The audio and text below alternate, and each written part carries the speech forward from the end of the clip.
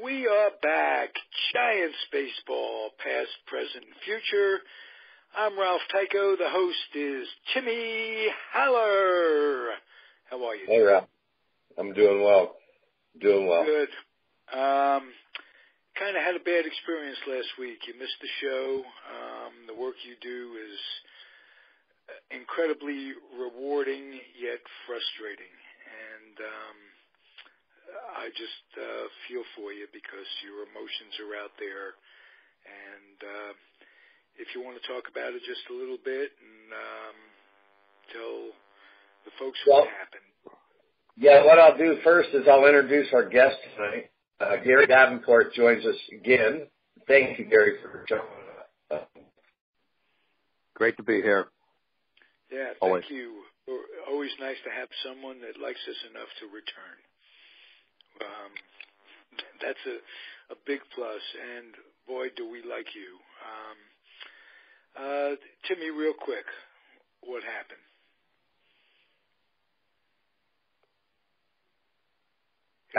And, and hello. Yeah, you're cutting out on us, Timmy. Or I'm cutting out, or something's something's. Is this any better? Is that this is any better. better? Okay. Yes, it is. And I didn't discuss with with this with Gary at all, but um, you know, in the industry that I work in, there's there's uh, tragedy and, and fatality at times, and uh, you know, losing a client last week was a, a difficult situation for me. So, uh, to overdose. So, uh, you know, that's that's part of what you get with this industry and the field that I work in. But um, to change the subject again, Gary, good to have you back on. I appreciate you um, taking time out of your busy schedule. I know you're you're pretty crazy going at it right now, and and have yet to get to Phoenix for or uh, to Scottsdale for spring training. Tell us what you're doing these days. Uh, these days, I've just kind of been busy with um, doing a lot of lessons and uh, working with some of the high school and, and college kids around the area here.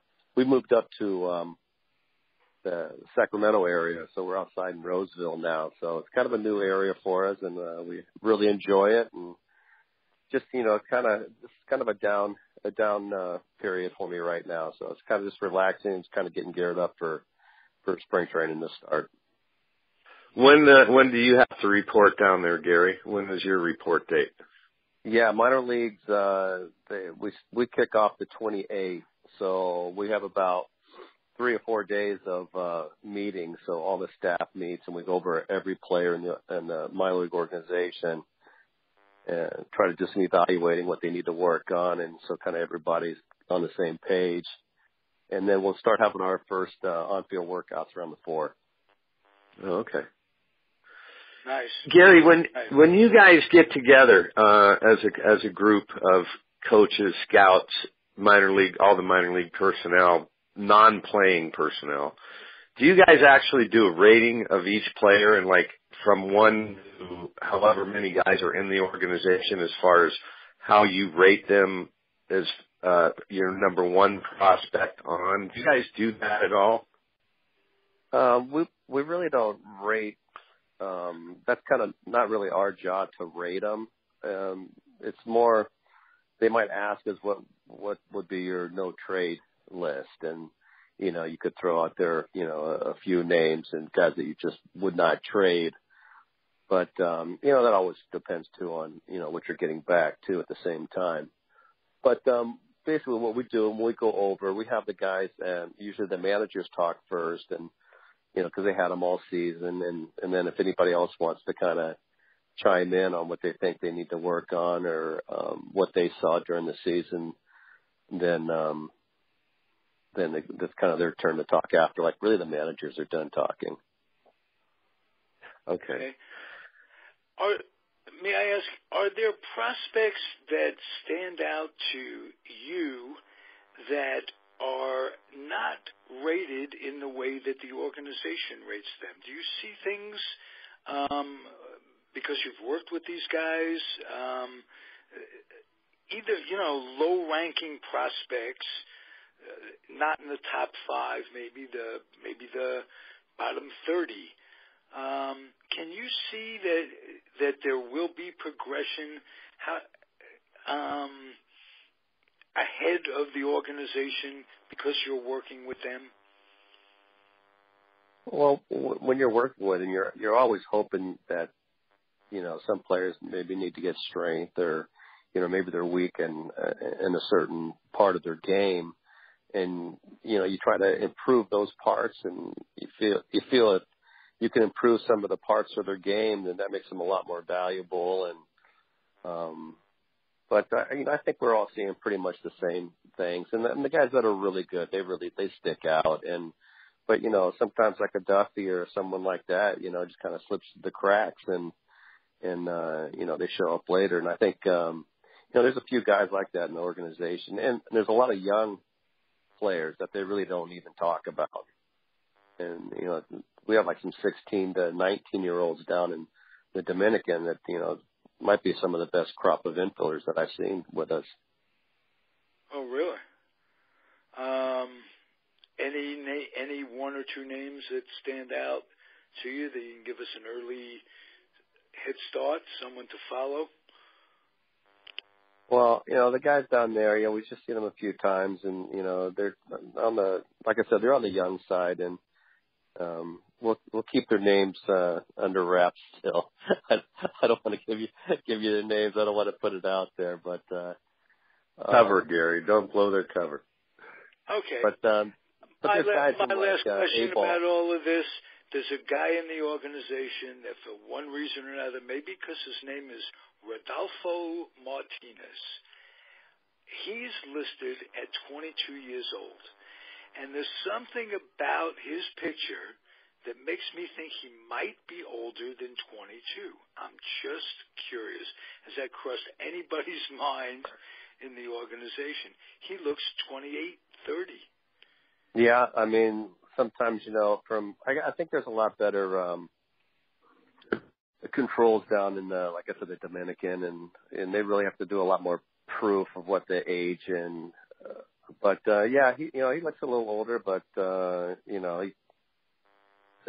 You know, I, I'm not one to say he's older or not older. I, I still look pretty young, so you know, so it's, I would hate everybody that to say that I looked older than I than I was, but um you know, here's a kid that throws 100 miles an hour too. I mean, this kid That's is what I mean. legitimate, Yeah. legitimate Um, arm.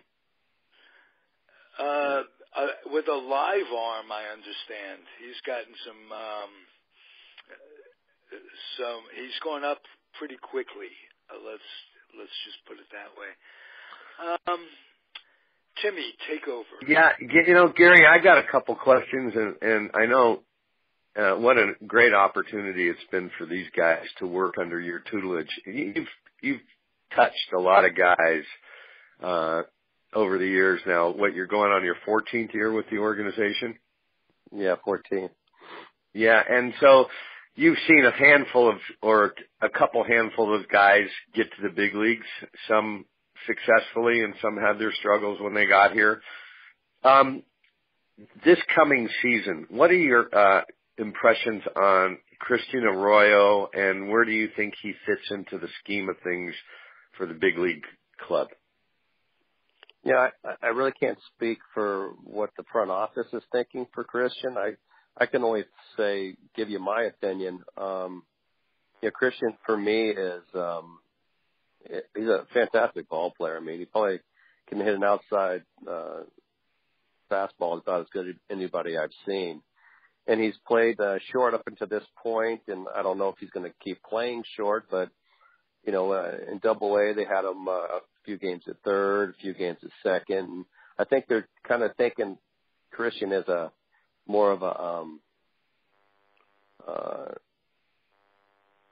a protection in case anybody from the the big leagues go down, any of those you know front front line guys.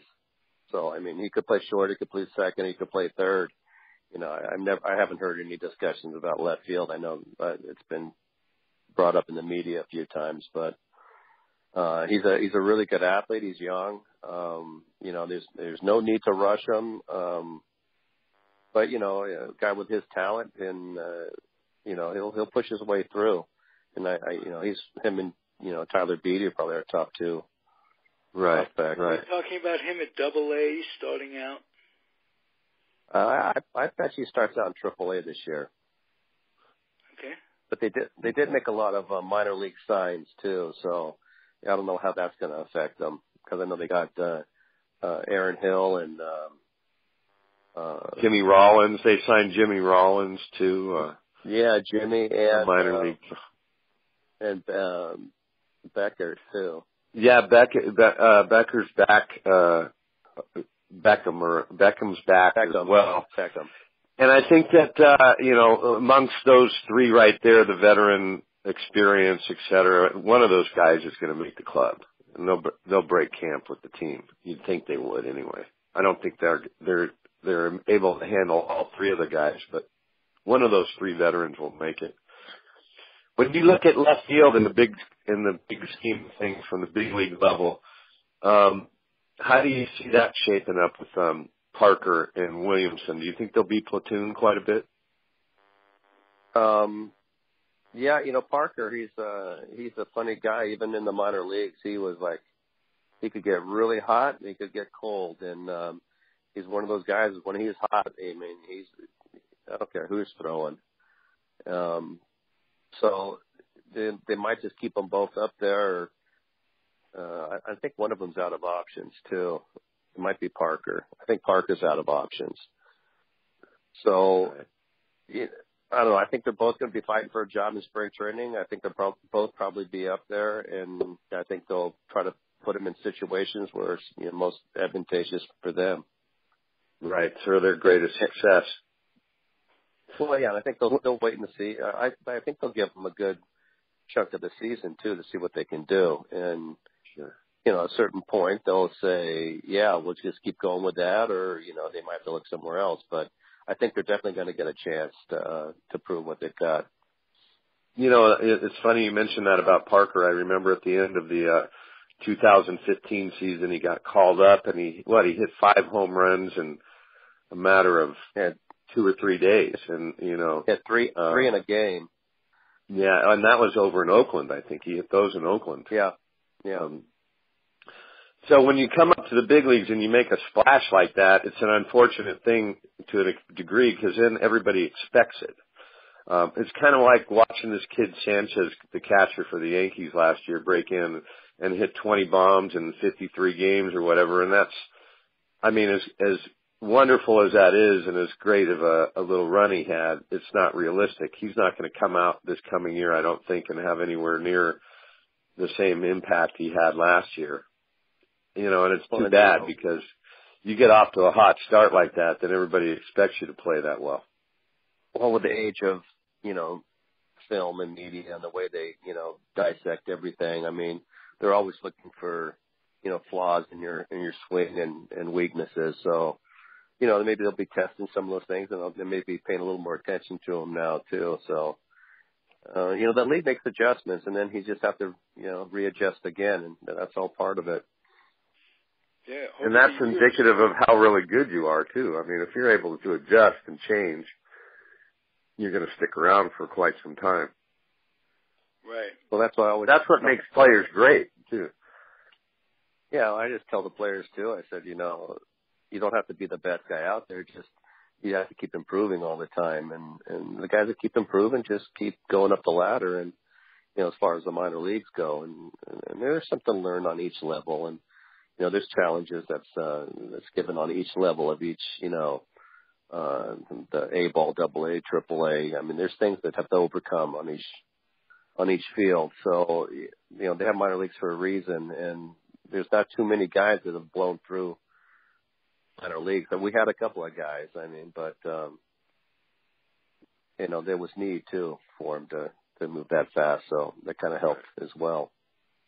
Right. So, G- Gary- Gary, what specifically do you do now with the club? You're you're an instructor in the minor leagues. You work mainly with the infielders. Is that correct?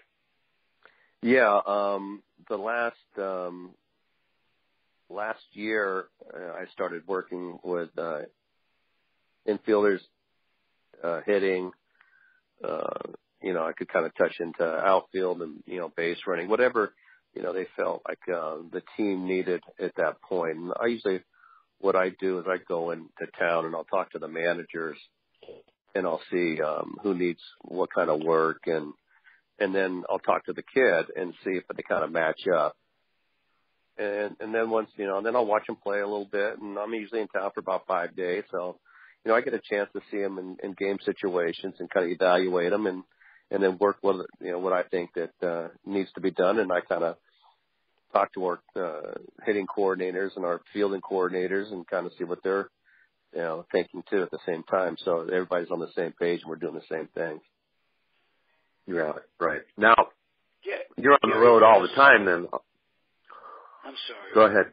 No, that's how. Go ahead. I was just going to ask Gary, what are some of the techniques, the coaching techniques that your dad, uh, anybody that doesn't know, um, terrific ball player, Jimmy Davenport, great giant. Um, what are some of the coaching techniques he passed on to you that um, you think about on a regular basis when you're dealing with these kids?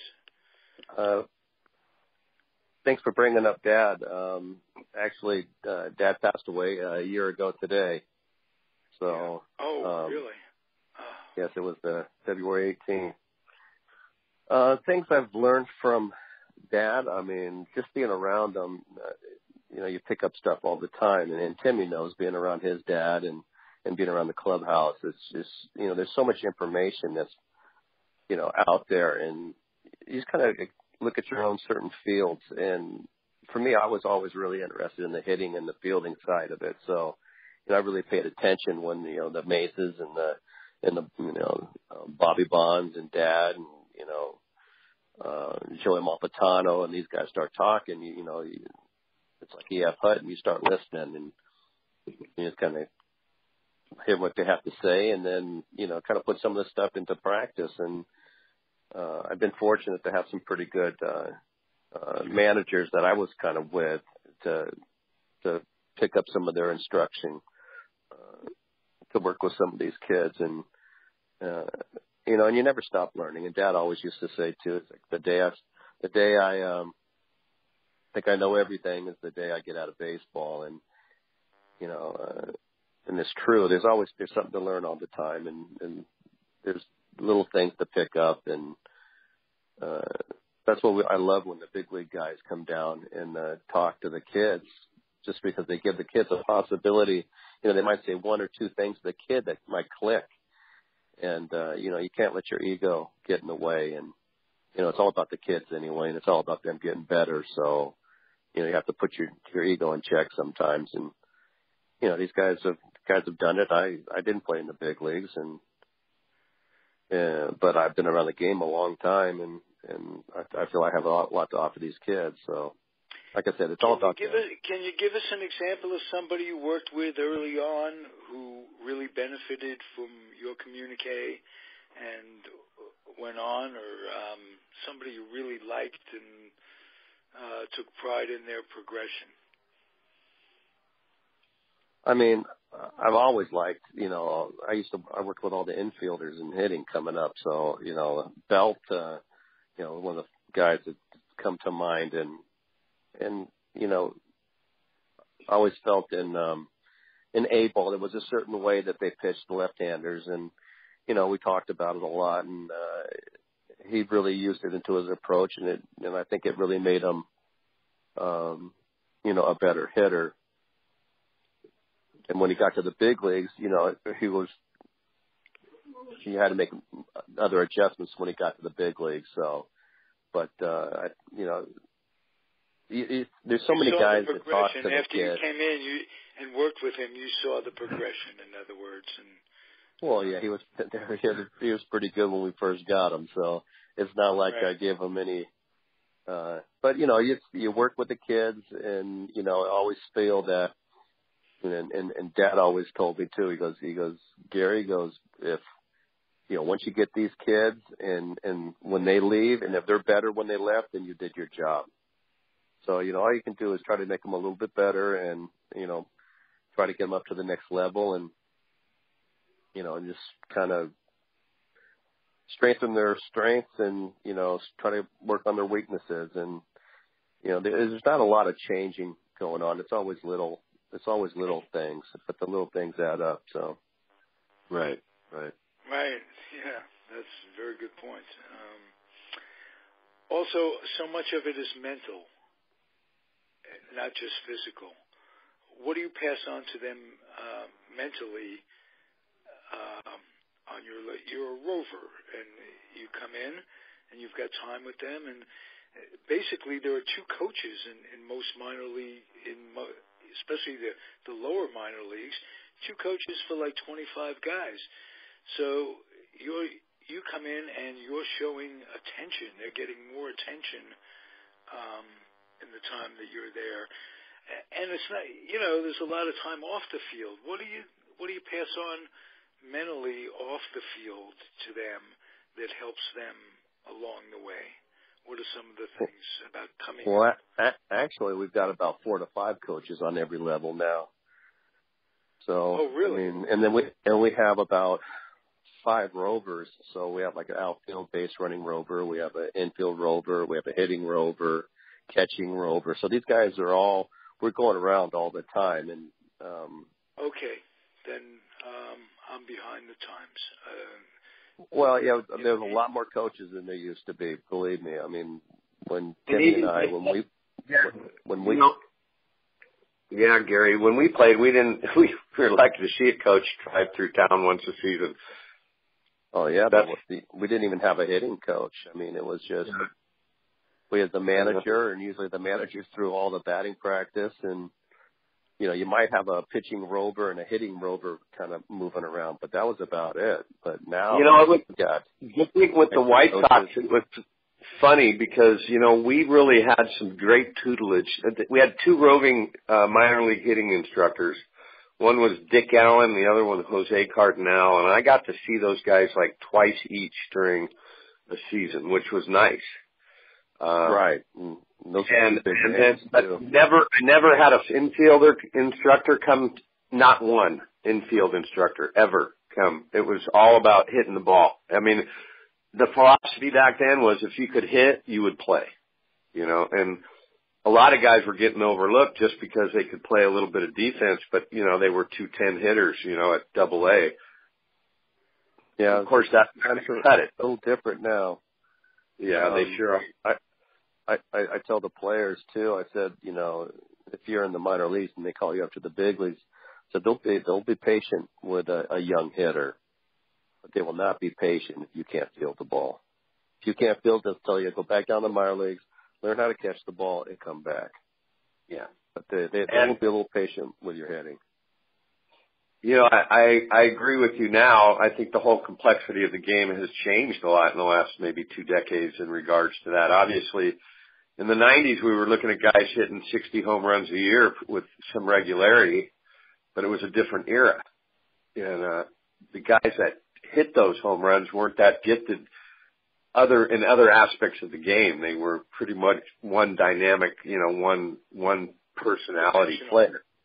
Yeah, one dimensional. Um, and now you look at guys, they're very, uh, they're very patient in the, the development of these young kids and working with them and getting them ready for that level uh, at the major league level because we see how competitive it is it is now too.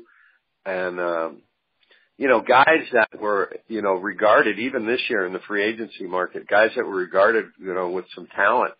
Um some of them haven't even signed yet with any clubs because of the way these minor league systems are being, you know, developed and and these young kids are getting a chance to play, some of these veterans aren't getting a shot to play again in the big leagues. And they thought they were going to stick around for a nice fat that payday. Could just purely be a financial move where you're going to sign a guy to X number of dollars as to bring bringing a kid up as opposed to bringing a kid up for the minimum, which the minimum is five hundred some odd thousand dollars. So um, it's all gotten away from us in terms of of the bucks and the you know. Maybe Gary, you can help me with this. I've got a problem. When do you guy when do you sign a guy like Napoli for eight and a half million for a year? going back to Texas, and then you sign this guy in Toronto who was all he did was cry and moan about him not getting the money that he felt he deserved. That he's getting eighteen and a half million a year for the one year. Um, I think I mean, what do you think? That's I mean, there's a disparity of ten million bucks right there, and I think Napoli's the better ball player. He's a winner. I mean, what are these executives doing in making these decisions, man? It's crazy. Well, they they have um, you know, there's so much information uh, now, and even when even when uh, you know a team comes into town, you know they'll give all the players uh, you know you know a book about you know an inch and a half thick of just uh, tendencies, you know who's hot, who's not, who's doing what, what they what they did against you last time. I mean, there is so much information that they've broken it down so much. But you know, it, it, it's not just about what you see on paper. A lot of times, you know, to me, what makes the difference in some of these kids is what they got inside. I mean, like a Duffy. I mean, you look at him, and you know he's probably you know an average player in the minor leagues, and then all of a sudden, here the kid is. He's you know number two uh, position for you know rookie of the year. But um, it has a lot to do with what they have, you know, inside, and it's you know the mind and heart, and and you know the effort level, and some of them play with a chip on their shoulder, and some of these guys are really talented, and they think that's enough, and you know I think it takes a lot more than just talent to be, you know, a, a constant person in the big leagues. So there's, there's a lot of factors, and it's not just what they're putting on paper, and but uh yeah, the value of the money they give them, it's yeah, it's unreal. I mean, but um the market kind of dictates who gets what, and you know they can take them to arbitration. Like everybody that went to arbitration got 18 million. So, you know, it, the money's crazy, but uh, you know that's that's just part of it. Okay. It is. I we don't, we don't have that problem. My, I think I've formulated my question a little bit better do you see a difference in when you see, say, the top 30 prospects on the MLB site for the Giants, and you look at the top 30 listed in a row, can, mm-hmm. can you see some and you go, whoa, that's not right. That guy shouldn't be seven, and the the guy who's 23rd should be seven, and the guy who's seven, 23rd. Where you see it, and it's so obvious to you that you wonder uh, who's putting the thing together? That's my question. Well, sometimes you know these guys are are seen by you know maybe people in the front office at certain times, maybe when they're really hot, and then maybe some of these other guys were seen when they weren't so hot. I mean, I look at the top 30 list, and you know I think the you know the best guys are on the list. It's just where they are could be evaluated differently, but you know, who I think might have a more upside.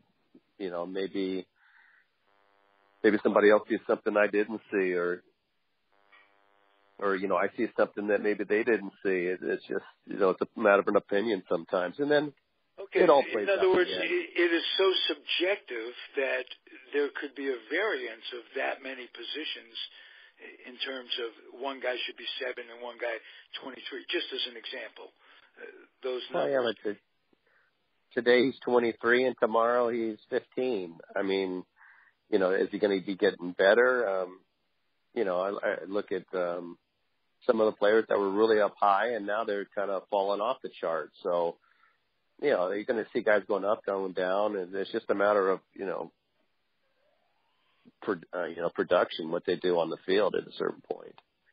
But then okay, they, they, now, project some of these young kids high and then you see if they grow into that spot or not. Do some of your your talents as a player development person transcend into scouting? Could you have a career in scouting under different circumstances? Me personally? Yeah, I'm just uh, you personally. Yeah, I mean, I think we all have an eye for for talent. It's just a, you know, I, I just prefer to be on the field. I like the, the instructional side of uh, baseball. That's I think I've I've been programmed from an early age for the instructional side. I think it'll, you Okay, know, might there get to a are certain some point. that do both. I remember Grady Fus- Fuson with the A's uh, was managing a ball in the in the summer and scouting. Uh, Tom Kotchman was was another one. You haven't done both in your career, am I am I correct? No, no, I haven't. But we Okay. we write reports on people that we see, so we can add to the scouting list. But it, they're they're a whole different level. They might go to you know two games.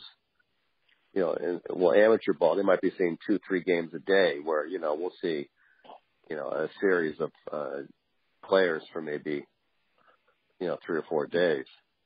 Right. But we do reports on all our guys too, as well.